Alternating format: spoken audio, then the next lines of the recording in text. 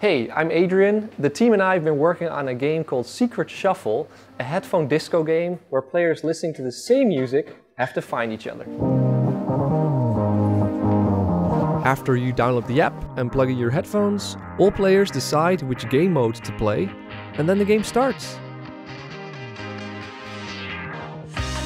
In the game mode pairs, only one other player dances to the same music as you. In order to find that player, you'll have to embody the music as much as you can so that you and the other player will be able to find each other.